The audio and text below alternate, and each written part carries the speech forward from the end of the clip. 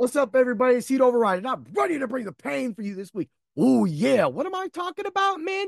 I'm going to talk about Elden Ring. This is just going to be a fast podcast, little talk about because I've been streaming on my Twitch. So if you haven't made it over to the Bring the Pain Twitch, the Heat Override Twitch, get over there. Of course, check out my YouTube, my Spreaker page, so you can get all of my audio podcasts, and of course, drroto.com, where you can get amazing articles like my AFC North breakout candidates article that just hit the site today, along with a lot of my bets and lose bets, which, if you combined me and lose bets this week, we went seven and two, and we were literally one hit from Arenado off from having a smashing good day. Yeah. Woo! Let's get to it. Man, Elden Ring, the, the Shadow of the Erdtree content has dropped. I've seen all the complaints about it. Short, dungeons, long dungeons. Actually, there's been some dungeons, man, that have been pretty long. I don't know what they're talking about. But I do see what they're saying that there's a lack of bosses in the dungeons. However, there's just randomly weird things walking around out in the open. Of course, we could talk about, you know, the fire golems going on, or the furnace golems is what they're calling them right now. I just beat my second one of those pretty easy. I'm pretty strong. When they go down, they just get blasted. Fire damage. It's what happens. Yeah. But at the same time, my guy's a tank, you know. So he, I, as per my video last night, and that I put out uh, out there on my Twitter, X, or Twix, whatever you want to call it. You know, it's just one of those things that sometimes you just get waxed in this game. And even though I'm a tank, I run into problems. So I ran into these stupid pumpkin head looking things, man. These things with these fester, and it, it's in the, it's of course, I think it's in the off world part, the south region of the actual the map for Erdtree, right?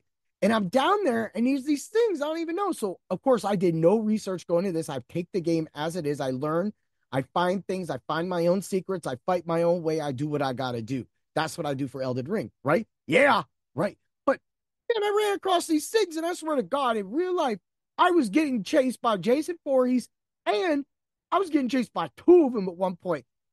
Freddy Krueger, Michael Myers, this was very, very stressful. On my Twitch, you could go back and replay that right now. But I'm literally running and I am my daughter's sitting there like, run dad. And I'm like, oh, and it is scary because these things, the minute they touch you, they touch you, they touch you with their little wand, and it literally makes your mind go mad and they suck your mind dry.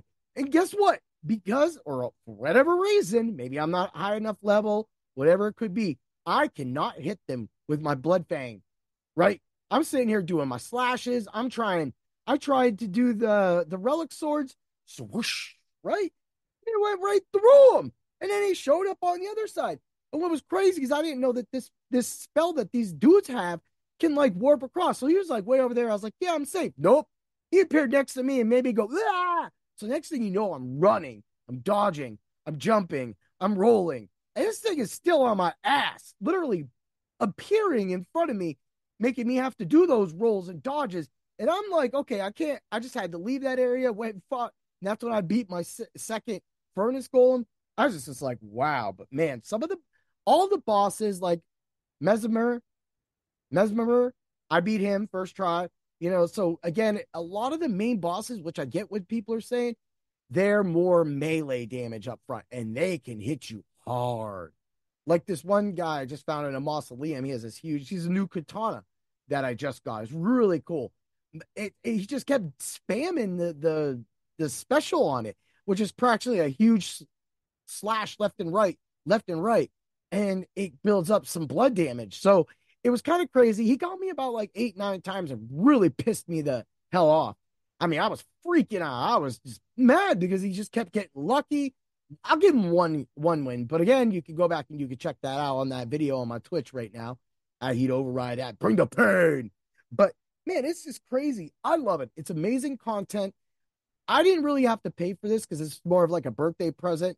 My my son gave me a, a PlayStation card, and then I had a couple extra dollars left over from that, so it was like literally it was like free for me. So, but I would have, but I would have, I would have definitely have bought this anyway. But I will tell you what, man, I'm loving every minute of it. Check out all that option. And hey, if you guys need help, look me up. I'm Heat Override on my PlayStation 5. I'll tank for you. Oh, yeah. Let's get to it. But everybody have a great Saturday. And always remember to bring the pain.